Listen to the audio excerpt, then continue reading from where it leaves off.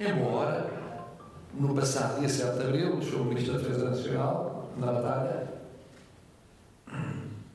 reiterou promessas de cumprimento naquilo que falta cumprir do Estatuto do antigo combatente, bem como eventual ajustamento naquilo que importa ser ajustado.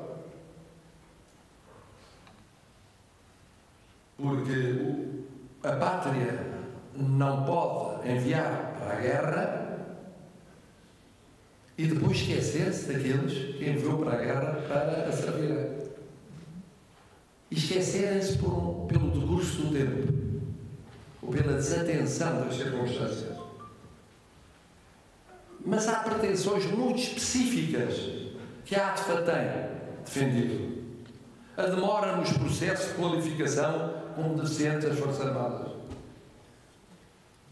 a prioridade no acesso à habitação social, a possibilidade de revisão dos processos de qualificação antigos, de combatentes que viram o seu estado de saúde agravado ao longo dos anos, aumentando o grau de invalidez e, em alguns casos, em alguns casos, podendo vir a ser qualificados como deficientes das Forças Armadas, o que não sucedia anteriormente.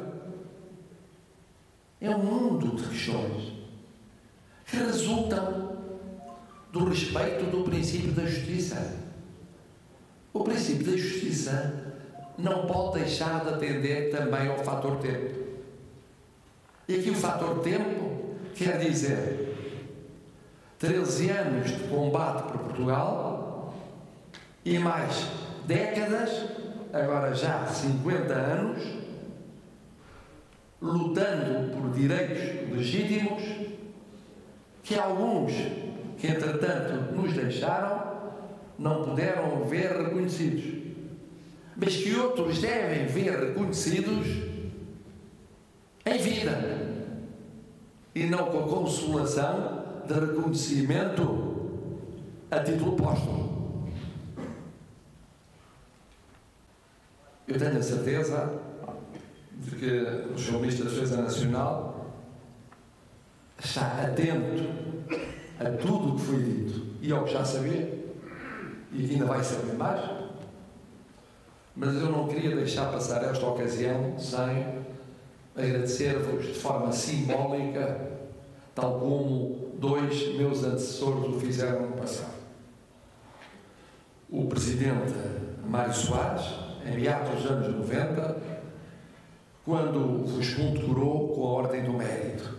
Tratava-se de condecorar a vossa dedicação a uma causa socialmente relevante.